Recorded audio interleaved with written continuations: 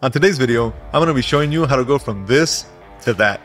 We're going to be deep diving into how to organize your files and projects, best practices for naming conventions, and so much more.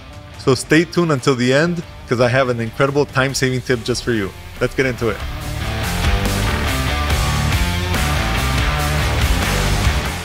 the most important part to note is that this is my way of doing things. It's not the way of doing things. There's many ways you can figure out your project organization or file structure, but this is a way that has worked really well for me throughout my career working at agencies and in big companies. So let me show you how this is done. The way I organize my folders are by clients. I would start with all the client names. So first, let's start with client A. And then within that, I would have the year of, uh, you know, currently the year you're working on. Then I would have the documents that are your like contract. So in this case, I have a master service agreement with my clients. Then I have brand assets, and that would be documents that I would get from the brands themselves. So documents, a brand guide, logos, fonts, photos, anything, right? Essentially anything that the brand will give me, uh, I would organize into this folder so that I can have access to it for future projects. Then I have a third folder, which is all my projects. Within that folder, what I do is I name my projects as an abbreviation of the client name, the project title, the year, then the month, and then the day. So once you start going into more projects, you're gonna, you know, start duplicating this folder and so on and so forth. And the year will keep those projects in order so that you know uh, the later days will be at the bottom and so on and so forth. So uh, let's dive into this folder. Inside this folder, you'll see I have a project order, which again is part of the documents where you know I send out a project order that details the scope and the outline and all that. So that goes in there. My invoices, any references that I might get from the client for that specific project or references from myself that I look up. And then we come into the source files. Under source files, I have my assets that are specific to those projects only. And these could be, you know, anything from images, vector uh, files, logos, fonts, etc. Right? Uh, even within video, you can see I have my raw files and my select files. Then I split my projects into two categories, design and video. And within these two, for example, InDesign, I work with Illustrator, Photoshop in design. And then in video, I primarily work with After Effects, Premiere, and Cinema 4D. Right? There's plenty more. For example, I also use Audition to record audio. So in those specific cases, I might have a different folder. Again, this is not set in stone. This is simply my general guide where I start off every project. Another tip that I always include in my template folders is template files. So when you come in here, you'll notice I already have a PSD file with the same uh, naming structure as the main folder. And same for AI. And then, for example, uh, After Effects and Premiere, they all have the same template file and then you can already automatically start working off of this file. And I'll show you a tip from that file later on in the video. This is already set up for you to like start right away as soon as you're going to organize your files, put them in the right place, and then start working. And that'll save you a lot of time in the future. Then once you're working on the files, you wanna make sure you put in all your review files that are gonna be sent out to the client in your review folder. And again, I have my design, my video, and my audio. And in this case, for example, I might have some high compressed or high res or compressed videos that I share with the clients. And again, these might be just me saving them there. I will share the video with the client on a platform, you know, like frame.io or something like that if it's a video. But this is where I keep all my files uh, for, for review. Once they pass the review phase, I will move them over to the final folder. And this is final only when it's approved, signed off, paid for, completely done. Right? Sometimes I might get clients or projects where I have to deliver the project files. So if I get that request from a client, I will collect all the files and the the files that are used within the project. So for example, the Premiere file, and I make sure to collect all those audio files, video files that are specifically used for that file, collect them and put them in here and then zip them so I can deliver to the client. Then I will have my design files, deliverables, then video, again, high res or compressed, and the audio files. That's it for the main folder. And again, this will vary on a per project basis, but you get the idea of what this can start to look like. So here's an example of how I would set up my folder for a specific client. I'm gonna make this up. Let's say I'm gonna be working with Apple, right? So I would come in here and name this Apple, right?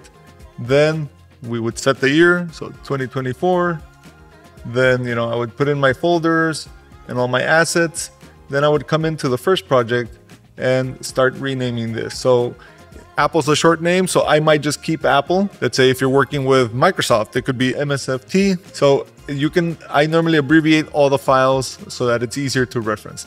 Then I'm gonna make up a project title. For example, let's say Apple uh, Alpha 1 project, right? Then we rename this to 2024, then the day, the, the month, and then the day, right? So that's how I would start my project, right? And then I would start just working off all these files. Here's a quick tip on how to save some time with these folder structures. I use an app called Better Re Find Rename. And this is a version of renaming your files similar to what Finder has. So if we come here where you select files and you can come in here and select rename and you can start changing, you know, more specific things. But Apple's rename is very limiting uh, because it's mainly designed for sequences of files. Like if you have, you know, uh, a lot of uh, PNGs for like a time lapse uh, video and you have a lot of files and you want to rename them in a sequence and order number, this is good for that. But this program, a better finder rename, is so advanced but yet so simple. It lets you basically rename and change any of these features, right? So in this case, I'm going to show you a quick example of just simply renaming text in the whole folder all at once. So what I want to select is replace text. And then what we're going to do is drag that folder into this, right? So it'll read all the files and subfolders in that folder. So I want to rename all my files to this structure, right? So I'm gonna copy that, then come in here and then put that in there. And then let's find one of our design files, copy that, which is the standard. And then we're gonna place it in replace. So we wanna replace this anywhere with this, right? So you'll see it automatically found the, the only four files that are named like that and how it'll replace them. So if I click on perform renames and then rename all, you see it confirmed four file names were changed.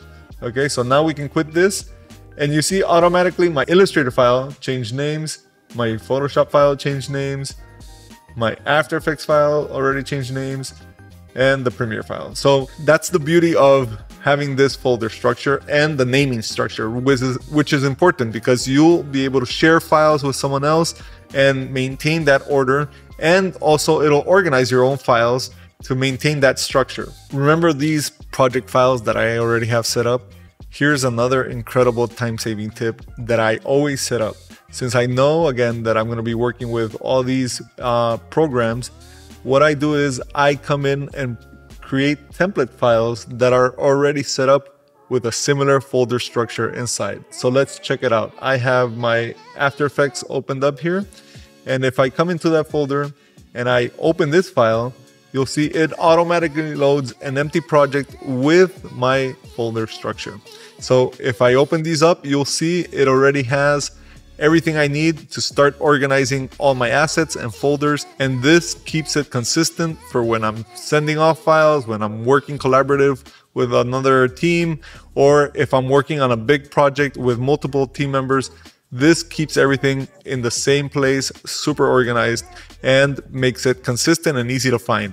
So again, I can close this uh, project and uh, you know this is always going to be a template file. So I can just click again and reopen it. And that works the same with my Premiere file and my other files. So one final tip I want to talk about is when you're delivering your files, let's say you're you create a video and you have to deliver your high res and compressed versions, the way I find is the best way to make sure everything is consistent is making sure the naming convention on the files is correct.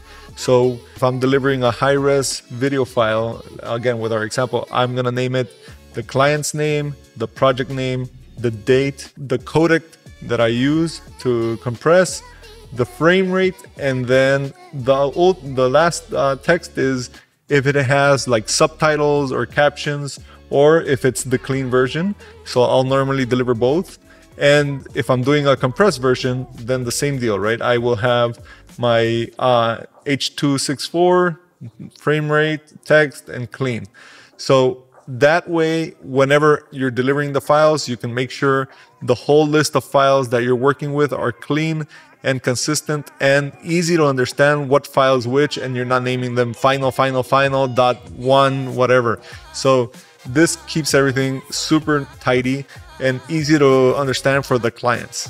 As promised, thank you for sticking with me until the end.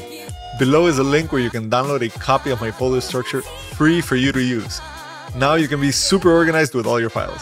If you found this video helpful, I would greatly appreciate it if you could like it and subscribe. Also, don't forget to comment below if you have any questions. I would be happy to help you. Thanks for watching.